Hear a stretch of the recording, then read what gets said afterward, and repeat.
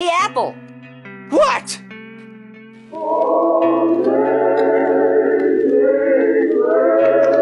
Many of you have probably seen this photo before and wondered what happened after it was taken, so I'm going to give you guys that story. This slideshow starts off with a photo of a black bear, a photo of a researcher going down a cave, and a very famous photo of one of these researchers coming face to face with a black bear that they thought was hibernating.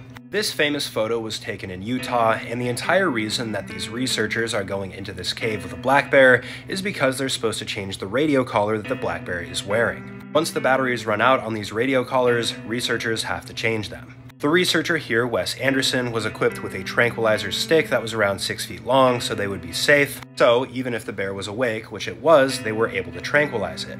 In this case, the bear kept crawling towards them, forcing the researcher and photographer to go back the other way. After the bear exited the cave, the tranquilizer kicked in, and they changed the batteries.